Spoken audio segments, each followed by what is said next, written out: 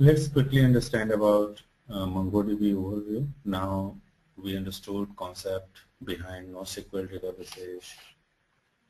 Also we understood how many type of categories are there and then we saw what all benefits is there. We compared with uh, relational systems. So now uh, let's understand MongoDB now. So we know MongoDB is an open source database and it is being developed by uh, 10gen. 10gen is our company. It is an agile database that allows a schema to change quickly as application evolves. So as I said, it gives you a dynamic schema. I will show you how it provides dynamic schema, how you can create everything on fly or most of the things on fly. It provides high scalability. It provides high availability it leverages in-memory computing, which is very, very important point.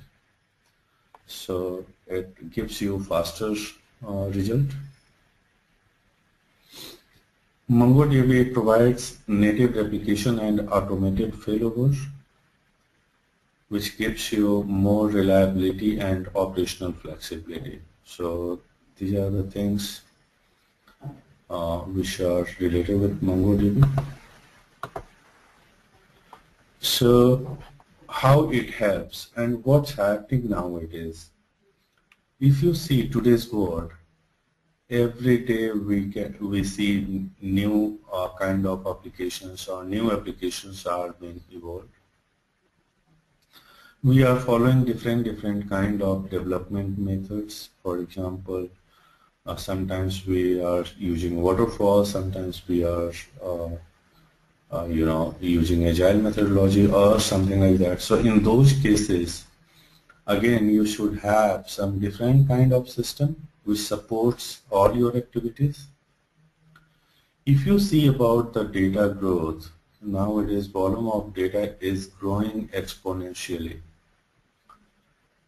Then different different kind of architecture you will have in place. You will have distributed architecture you will have different different kind of platforms Dif also you will see different different kind of data types.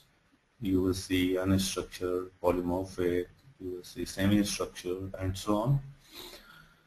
So for those kind of environments you have to have different kind of system. And that's the reason NewSQL or NoSQL or big data solutions comes into the picture.